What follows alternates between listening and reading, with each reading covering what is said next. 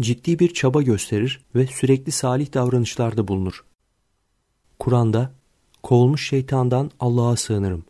Mal ve çocuklar dünya hayatının çekici süsüdür. Sürekli olan salih davranışlar ise Rabbinin katında sevap bakımından daha hayırlıdır. Umut etmek bakımından da daha hayırlıdır. Ayetiyle Allah katında asıl makbul tutulan ve sevap bakımından da hayırlı olanın sürekli olan salih davranışlar olduğunu bildirmiştir. Bu aynı zamanda kişinin ihlasının ve samimiyetinin de önemli bir göstergesidir. Kimi insanlar Allah korkularından dolayı değil, insanların gözünde dünyevi anlamda bir itibar ya da takdir kazanabilmek için de iyilik yapabilmektedirler. Söz gelimi bir kimse depremden dolayı evsiz ve ihtiyaç içerisinde kalan kimselere evindeki eşyalarından ya da kıyafetlerinden yollayabilir. Komşularına karşı yardımsever, nezaketli ve sevecen bir ahlak gösterebilir. İş yerindeki çalışanlarına karşı son derece ilgili, şefkatli ve anlayışlı bir yapı sergileyebilir. Yaşlılara, büyüklerine karşı saygılı ve hoşgörülü olabilir.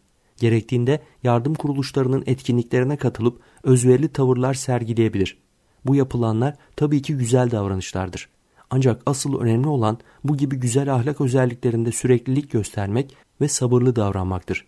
İhlas sahibi bir Müslümanın yapması gereken şey de hayatının her anında ihtiyaç içinde olan her insanın yardımına koşmakta kararlı olmak ve bu yaptıklarında insanların rızasını gözetmemektir. Sadece Allah'ın rızasını kazanmak için gösterilen bu ciddi çaba kişinin samimiyetinin de bir kanıtıdır. Ancak eğer tüm bunların yanında kişi hayatının geri kalan kısmını aynı güzel ahlak anlayışına uygun, aynı özverili tavırlar, aynı ciddi çaba içerisinde geçirmiyorsa bu durumda diğer davranışlarında da ne derece samimi olduğu şüphelidir. Nitekim cahiliye toplumlarında da Allah'a iman etmediklerini söyledikleri halde bu tarz iyiliklerde bulunabilen bazı insanlar vardır. Ancak bunları Allah korkusundan ya da ahiret inançlarından dolayı yapmazlar. Hedefleri genelde dünyevi anlamda küçük ya da büyük bir takım çıkarlar elde edebilmektir. Örneğin biraz önce verilen örnekteki kişi sırf evindeki fazlalıklardan kurtulabilmek için depremzedelere yardımcı olmuş olabilir.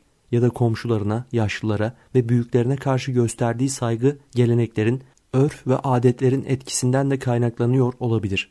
Aynı şekilde iş yerinde de çalışanlarını motive etmek ve böylece de onlardan daha fazla iş gücü ve kazanç elde etmek için de onlara karşı güzel tavırlar sergiliyor olabilir.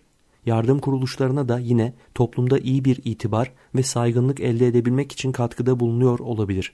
Tüm bunların Allah korkusundan, Kur'an'ın getirdiği güzel ahlaktan kaynaklandığını ve ihlaslı olduğunu söyleyebilmek için kişinin bu çabasını hayatının her anına yayması ve kesintisiz olarak Kur'an'a uygun tavırlarda bulunması gerekir. Zira Kur'an'ın kovulmuş şeytandan Allah'a sığınırım. Sen de sabah akşam onun rızasını isteyerek Rablerine dua edenlerle birlikte sabret. Dünya hayatının aldatıcı süsünü isteyerek gözlerini onlardan kaydırma. Kalbini bizi zikretmekten gaflete düşürdüğümüz kendi istek ve tutkularına, hevasına uyan ve işinde aşırılığa gidene itaat etme. Ayetiyle sabah akşam yani gün boyunca ve kesintisiz olarak Allah'ın rızasını aramanın önemine dikkat çekilmiştir. Eğer bir insan Allah'ın ve ahiretin varlığına samimiyetle inanıyorsa aksini yapabilmesi de kesinlikle mümkün değildir. Ahirette dünyada yaşadığı her anın hesabını vereceğini ve ancak Allah'ın rızasına uygun bir yaşam sürdüğü takdirde sonsuz cennet hayatına layık olabileceğini bilir.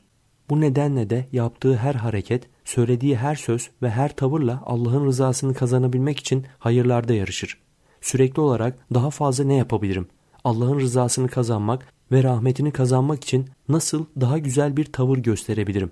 Ahlakımı güzelleştirmek için hangi tavırlarımı düzeltmem gerekir diye düşünerek ciddi bir çaba harcar.